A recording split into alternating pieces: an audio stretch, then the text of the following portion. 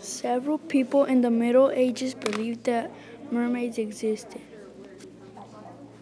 People would call mermaid guys mermen.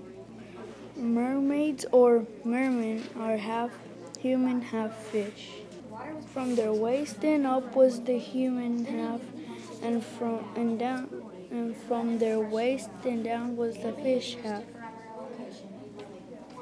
Their legend is that they lure sailors by singing beautiful music. Mermaids are neutral, they are not bad or good, they are both. In Hollywood, they changed into cartoons like The Little Mermaid.